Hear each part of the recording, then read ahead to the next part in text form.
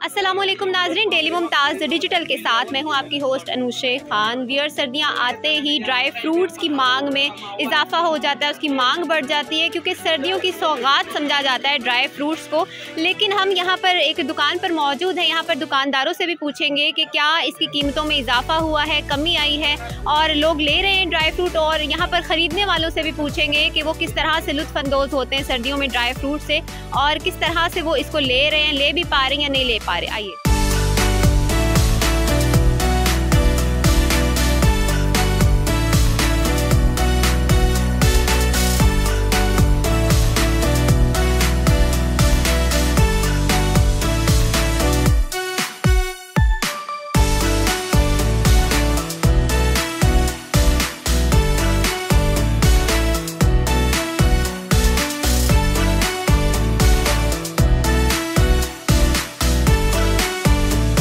वालेकुम सलाम। मुझे बताएँ कि सर्दियों की सौगात होते हैं ड्राई फ्रूट्स। लोग। आ रहे हैं खरीदने? आप माशाल्लाह बहुत लोग आ रहे पिछले साल से माशाल्लाह बहुत काम बेहतर है। और दूसरा बात ये है ना पिछले साल चीज़ थोड़ा सस्ते थे इस साल में महँगा है थोड़ा।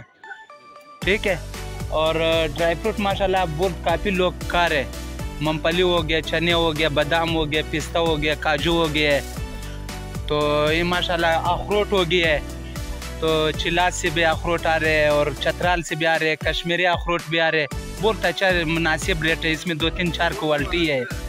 ठीक है। ये क़्यामतों में पहले जो था, कम थे।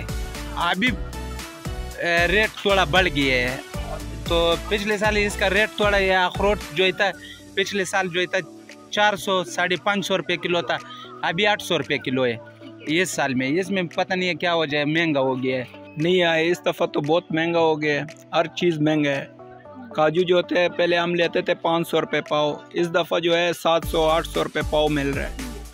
और चलगोज़ा जो है, पिछले साल आठ हज़ार था, और इस दफ़ा जो है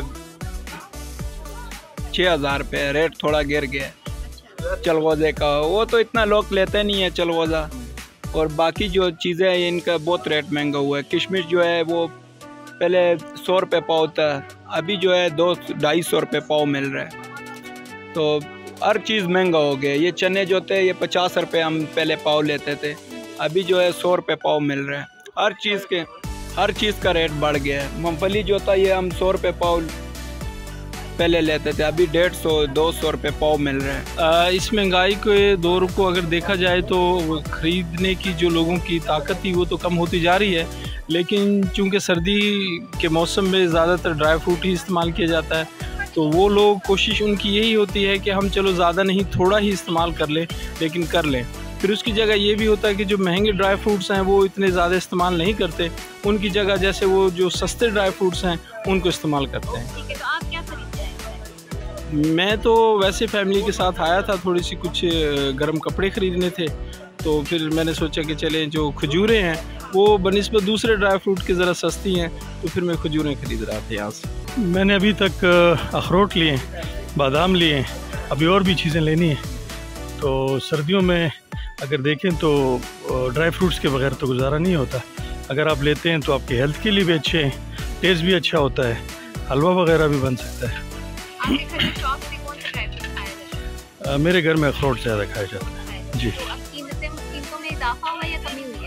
इजाफा हुआ है। जैसे हर चीज़ में इजाफा हुआ है, इसी तरह इन चीज़ों की प्राइसेस में भी इजाफा हुआ। है? तो मैंने पाँच किलो ली जी। ये मुझे मिले हैं फोर फिफ्टी पर किलो पर के जी मिले।